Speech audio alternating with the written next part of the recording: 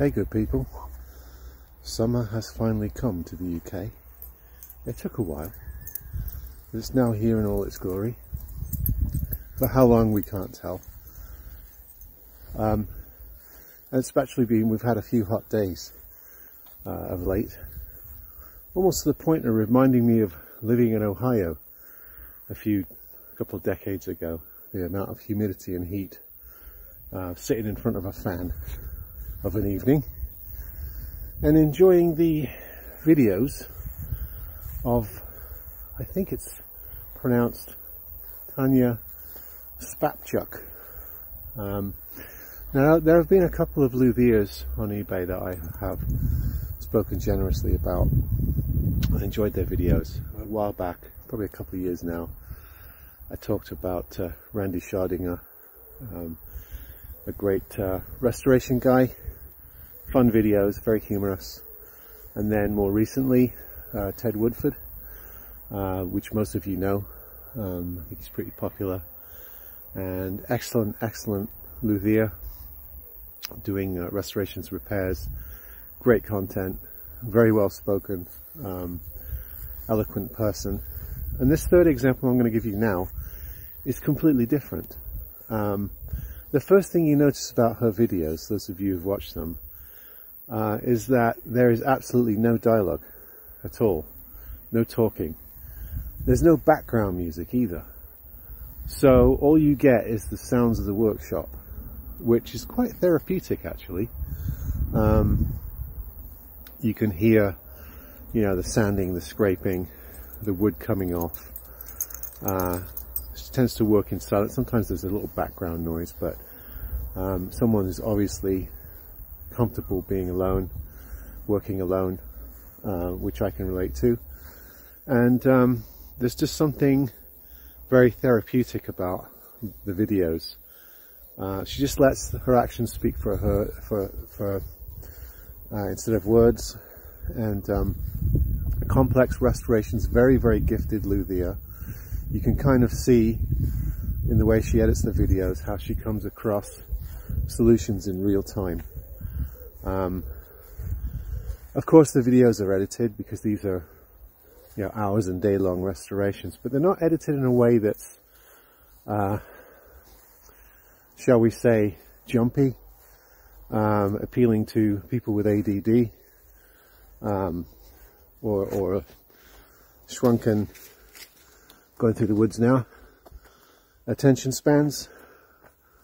So the videos breathe you get long moments of of actions. They don't, she doesn't cut everything short. Um, you can really see technique and style. Uh, I believe she's in the Ukraine, um, which obviously has its own implications. So, uh, and it appears that she's in a workshop. There may be other people working in there, but uh, excellent luthier. Uh, her restoration, full restoration videos, I really, really um, you know, advocate you watching, taking the time to watch them if you're interested in this kind of work. Uh, she does full restorations of old parlors, old Martins, uh, one old classical, uh, a bass, uh, some older electric guitars, and not always vintage. I've seen her take on guitars that are only, you know, one or two hundred old old Ibanez um, acoustics and things like that and does applies the same amount of rigor to the work. So really interesting channel. I've been binging videos lately, sitting in the heat with headphones on before I go to bed and the fan blowing in my face and watching these very therapeutic videos of a gifted luthier um, you know, doing these very complex restorations. A lot of hand tool work, obviously has some tools in the workshop, but she's not one of these craftsmen you see on YouTube that just has every tool in the book, uh, every every power tool in the book, and they, they just go to, you know, uh, a vast arsenal of uh, electric tools to do everything.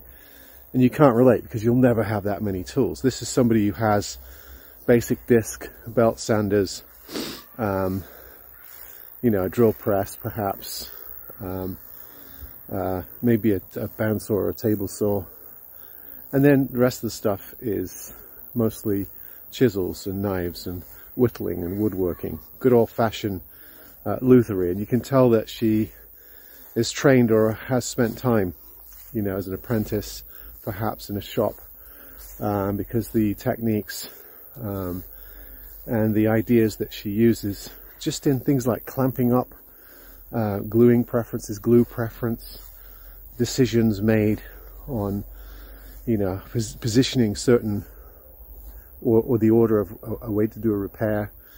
Um, you can tell that this is somebody who's done a few, even though she appears to be very young. Um, but excellent, excellent channel. Uh, I don't do this very often.